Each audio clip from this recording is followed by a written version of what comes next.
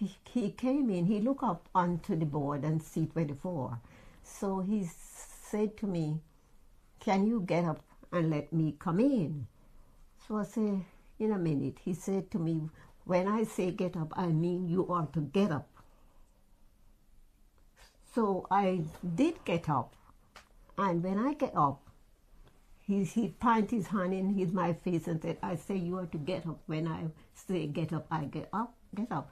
So I said to him, don't point your hand in my face. He said, I do what I want to do.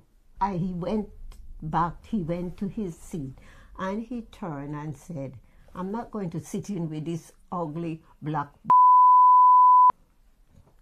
Get him away from me. I feel very low.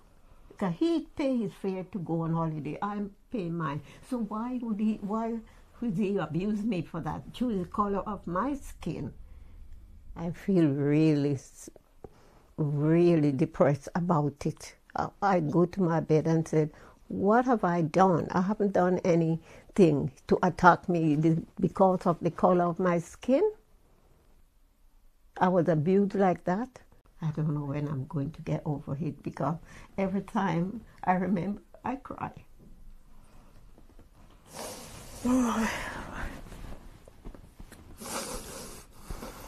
don't worry.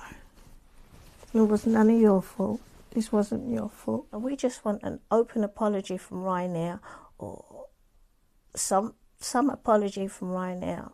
You know, I don't even know the way forward from this now. It's just I can't even watch the video. It made me feel really angry. Watching it back, horrible. You see, why be treated because of the color of my skin? That's how I look on it.